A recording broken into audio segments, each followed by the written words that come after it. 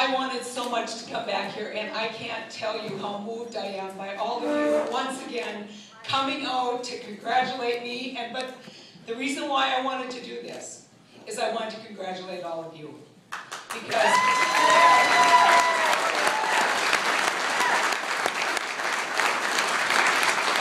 Every person in this room contributed to this event. Every person in this room contributed to this victory.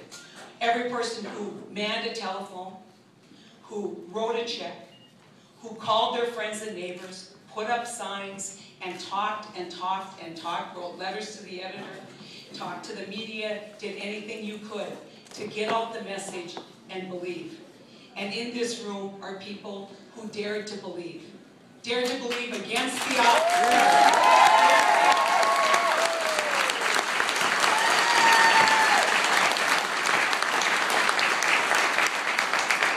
People who dared to that we could win a Senate seat in North Dakota. So,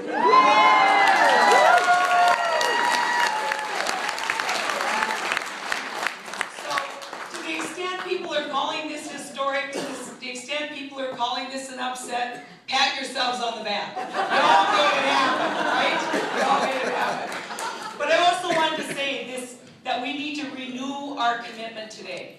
We need to renew our commitment today to working together. And I am extraordinarily grateful and um, very, very uh, proud to say that uh, Congressman Berg called me yesterday, did a terrific job wishing us all well, talking about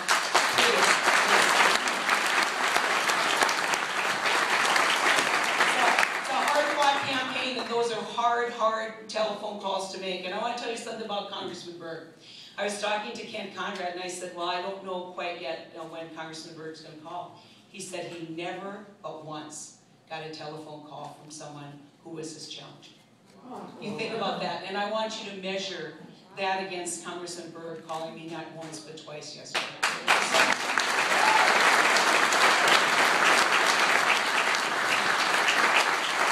I I also received a call from Senator John Holt, who, um,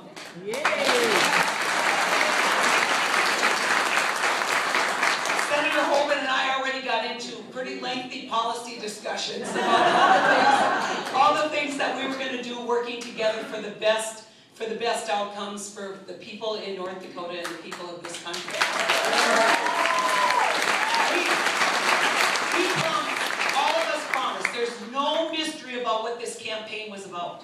This campaign was about walking across the aisle and solving the problems of, the, of North Dakota and the problems of America the right way, the North Dakota way, the way that we do things here. You know, I talked in this in, in our campaign about the coffee table in every small town and even in towns as large as Fargo. I said there's a coffee table out there where people sit down every day, every day, and they solve all the problems of the world. all the problems of the world are solved at these coffee shops. And you know what? I've never been, uh, you know, someone who sat at those tables who thought everybody thought alike.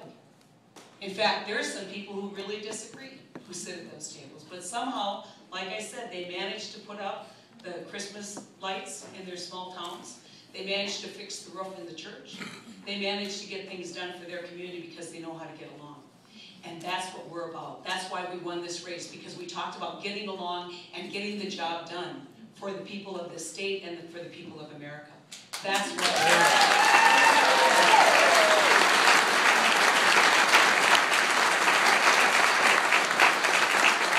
I did not, I did not, you know, make this decision, you know, lightly. Most of you know, I have a wonderful life. In fact, one of my great uh, uh, hesitations was I didn't want to live anywhere else but North Dakota. I love this state. I love where we are. I know people laugh at me when I say that out of state, and I say, well, you got to come to North Dakota. Huh? You got to see what we've got here because it's pretty darn great.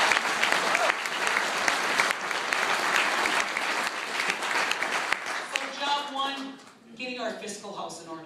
And you all know we've, we- Kent Conrad's been your champion for years. I promise you that I'll continue in that vein to take a look at what we're gonna do to fix our economy and fix our fiscal difficulties. We cannot continue to do what we're doing. It may disappoint some of you down the road when we make those tough decisions, but understand this, that I care deeply about passing an America on to the next generation that is debt-free, that is a path forward so that we don't burden our children with this debt and that we in, in, continue to provide great economic opportunity because we've done our job. We've done our job in our generation. That's our job. It's a great task We need a farm bill. We need a national energy policy. We need to have people who know how to get along, and I can tell you, I am so excited to join Amy Klobuchar. I like the vote. I like the vote, so I had to tell her I had to get an applause line out of Amy Klobuchar. Uh, it- I, just a quick story, and I don't know how many of you were here when Amy was here for the hot dish with uh, Harrison. Anyway, uh, we were at an event, and I told people how extraordinarily, um, uh, you know, popular Amy was in North Dakota, and that if I could just, you know, maybe be a little bit more like Amy. Now, I will tell you, Amy's not known as the best dresser in Washington. But I said, I'm gonna go shopping with Amy down at Herberger's and she's gonna teach me that maybe people, if they see us together, they'll give me a little boost. But we've got a big job ahead of us. We've got a big job ahead of us, but I know with all of you who are the wind at my back, and with Senator Kent Conrad and Senator John Hoeven, I know that we can do the right things for North Dakota. But I wanted to come here and once again, in this great Teamster Hall that we have filled up three, four times in this campaign, because we know that Cass County made the difference. I won by almost 10,000 votes.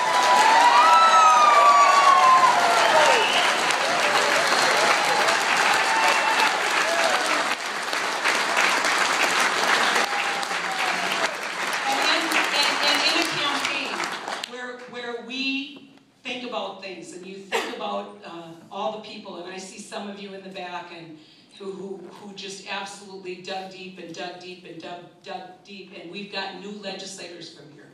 We have new opportunity in here. But I want you to think about this.